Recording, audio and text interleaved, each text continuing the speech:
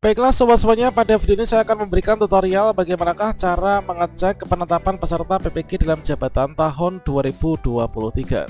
Nah, di sini nanti kita akan melihat apakah kita ditetapkan sebagai peserta ataukah tidak. Kemudian di sini nanti kita wajib mengunduh yaitu form A1, fakta integritas dan juga surat izin pimpinan untuk keperluan lapor diri ke LPTK. Berikutnya nanti juga akan disajikan pada portal pengumuman PPG Kemdikbud.go.id yaitu surat edaran terkait tentang penetapan mahasiswa untuk uh, eh, PPG dalam jabatan yang angkatan 2 ya terkait juga nanti mekanisme lapor dirinya. Nah, berikutnya nanti uh, kita sebagai syarat untuk bisa berangkat PPG dalam jabatan itu adalah nanti kita harus tetapkan entah itu peserta utama maupun juga peserta cadangan. Selanjutnya langkah apa yang harus kita lakukan setelah kita nanti ditetapkan? Kalau misalkan kita nggak ditetapkan nanti peluangnya bagaimana? Silahkan simak video ini sampai selesai. Namun sebelum kita lanjutkan perlu saya ingatkan bagi teman-teman yang mungkin baru saja menemukan channel ini silakan klik tombol subscribe-nya dan aktifkan notifikasi loncengnya sehingga nanti jika ada update video terbaru kalian tidak akan ketinggalan informasi. Baiklah sobat-sobatnya seperti yang kita ketahui bahwasanya inilah merupakan jadwal pelaksanaan PPK dalam jabatan 2023 angkatan 2 yang mana untuk konfirmasi kesediaan kemarin teman-teman yang diberikan kesempatan untuk konfirmasi kesediaan atau dipanggil PPG di angkatan 2 itu sudah dilakukan tanggal 7 sampai dengan tanggal 11 September. Bagi teman-teman yang belum terpanggil eh, PPG dalam jabatan atau belum mendapatkan notifikasi konfirmasi kesediaan bersabar saja nanti kita pantau informasi berikutnya ya Nah setelah teman-teman melakukan konfirmasi kesediaan entah itu peserta utama maupun juga peserta cadangan ini kan kita wajib ya melakukan konfirmasi kesediaan. Nah selanjutnya di sini nanti hasil final e, penentu nanti setelah kita lakukan konfirmasi entah itu peserta utama maupun juga peserta cadangan itu adalah nanti pada tanggal 14 September 2023 Nah tanggal 14 September 2023 merupakan jadwal untuk penetapan calon mahasiswa PPG Daljab 2023 dan pada bagian ini nanti di saat penetapan peserta teman-teman nanti login ke akun SIM PKB masing-masing di tanggal 14 September ini ya. Nah ketika teman-teman nanti login ke akun SIM PKB ini nanti teman-teman akan mendapatkan menu pop-up yang kurang lebihnya seperti ini yaitu entah itu peserta utama maupun juga cadangan akan ada ucapan selamat Anda telah ditetapkan menjadi calon mahasiswa PPG dalam jabatan tahun 2023 angkatan 2 Tahap selanjutnya adalah teman-teman mengunduh e, eh, A1 dan juga surat izin pimpinan. Proses lapor diri dilakukan secara daring di LPTK masing-masing yaitu mulai dari tanggal 15 sampai dengan 16 September 2023. Ini nanti dilakukan secara daring di aplikasi masing-masing perguruan tinggi penyelenggara PPG teman-teman. Kemudian untuk informasi lapor diri ini teman-teman bisa melihat pada laman LPTK yang mana di sini nanti ketika ada tulisan di sini maka teman-teman kalian klik nanti akan diarahkan menuju ke halaman berikutnya yaitu di tampilan ini yaitu mitra penyelenggara PPG ya. Nah nantinya teman-teman di sini ditetapkan itu di perguruan tinggi mana. Setelah teman-teman klik di sini maka teman-teman silahkan pilih nanti lapor dirinya itu ke perguruan tinggi yang mana.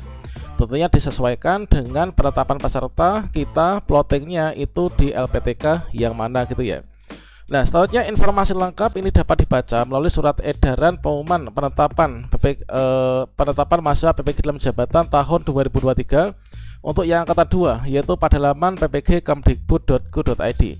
Nah, selanjutnya teman-teman kalau misalkan sudah ditetapkan yang seperti ini, kita sudah ditetapkan ya sebagai masa PPG Daljab 2023.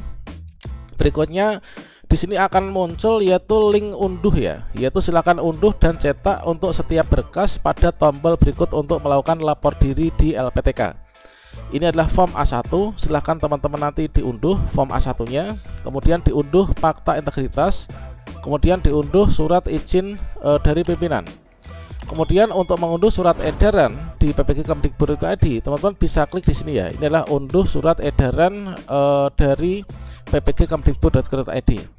Dan langkah selanjutnya setelah nanti teman-teman di sini e, ditetapkan sebagai calon mahasiswa PPG dalam jabatan untuk yang angkatan 2, maka di sini nanti teman-teman harus segera melakukan lapor diri. Dikarenakan mengingat menimbang untuk jeda waktunya ini cukup mepet ya. Kita ditetapkan tanggal 14, kemudian tanggal 15 sampai 16 ini teman-teman harus sudah lapor diri. Dan untuk lapor diri waktunya hanya dua hari ya teman-teman Nah ini nanti setelah kita ditetapkan ini kita adalah melakukan lapor diri ke LPTK menggunakan berkas-berkas yang ada tiga ini.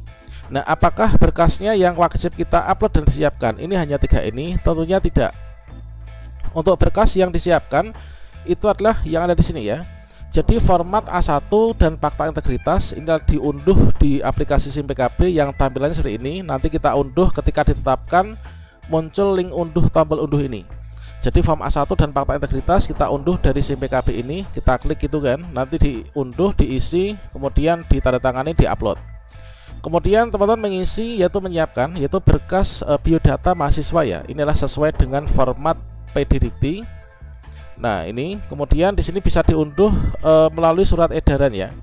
Kemudian surat pernyataan izin pimpinan ini adalah formatnya bisa unduh dari SIM PKB. Ini yang paling bawah ya, warna kuning ini kemudian teman-teman menyiapkan yaitu nanti diupload scan ijazah S1 kemudian scan ijazah transkrip nilai. Ingat di sini untuk scan ijazah ini adalah uh, yang kita scan tuh ijazah yang asli ya. Nah ijazah yang asli itu seperti apa? Misalkan kopnya warnanya warnanya berwarna gitu ya bukan hitam putih. Kemudian stempelnya itu berwarna juga gitu kan tanda tangannya juga. Nah, jadi bukan uh, yang fotokopian namun yang asli ya, scan ijazah dan juga scan transkrip nilai S1-nya. Kemudian scan kartu identitas ya. Ini bisa kita gunakan KTP atau mungkin juga SIM gitu kan.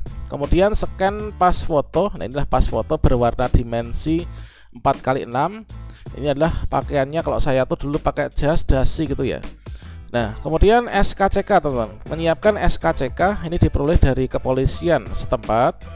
Kemudian surat keterangan sehat dari puskesmas RSUD setempat Nah ini untuk keperluannya apa? Keperluannya adalah keperluan lapor diri atau mungkin juga mengikuti PPG dalam jabatan tahun 2023 Angkatan 2 gitu ya. Kemudian yang ke-10 surat bebas nafsa ini dapat diperoleh dari BNN Kemudian kepolisian atau puskesmas atau mungkin juga RSUD setempat ya. Kemudian scan NPWP ini bagi yang memiliki. Nah biasanya kalau misalkan kita belum memiliki Nanti akan diarahkan untuk membuat dulu ya Untuk NPWP ini Kemudian mungkin nanti akan ada tambahan persyaratan dari LPTK masing-masing. Pokoknya kita siapkan saja. Nah setelah nanti kita e, penetapan peserta Nanti kita lapor diri tanggal 15 sampai dengan tanggal 16 Menggunakan e, syarat berkas lapor diri PPG Daljab 2023 ini. Maka nanti teman-teman tanggal 18 nya Ini nanti kita sudah mengikuti orientasi mahasiswa atau istilahnya tuh ospek itu ya kalau misalkan kita kuliah S1 dulu itulah ospek atau mungkin juga kalau kita masih sekolah di jenjang dasar menengah itu adalah MOS gitu ya. Nah ini tanggal 18 September. Setelah itu teman-teman bersiap Sehari setelahnya itu adalah Sudah dilaksanakan PPG dalam jabatan. Ini secara daring ya. Jadi PPG dalam jabatan 2023 Ini secara daring dimulai tanggal 19 September Sampai 8, 28 November 2023 Kemudian di sini nanti uh, setelah kita mengikuti pembelajaran dan penilaian, nanti kita ujian akhir ya, UKM PPG. Kita lulus, kemudian penerbitan NRG kita selesai. Dapat serdik, dapat pencairan tunjangan profesi guru. Saya ucapkan selamat teman-teman yang nanti ditetapkan sebagai mahasiswa. Uh, semoga ini nanti menjadi berkah untuk kita semua ya.